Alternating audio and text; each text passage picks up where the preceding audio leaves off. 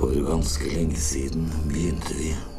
Vi som en dag skulle bli mennesker og skjønne styrken i antall.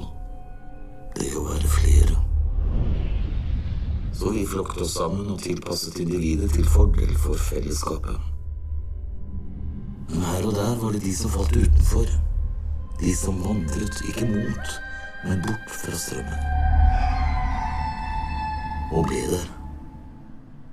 Avvikere med tilholdssted dypt inn i villmarken.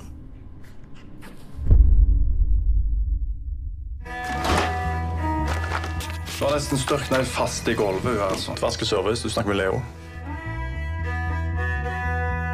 En av de eh, fant ca. halvparten av han, og vi må finne resten.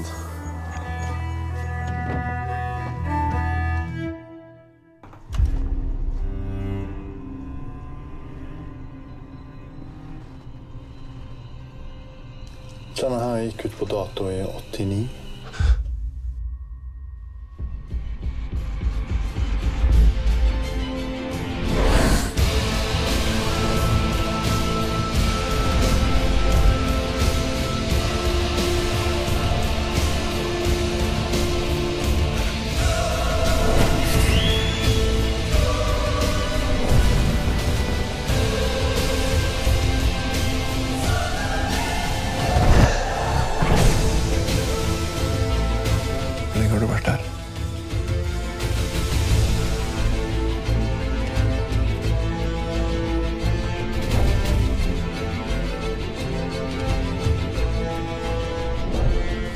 regner jeg med at vi er enige når jeg sier at hun ikke er helt sånn som oss.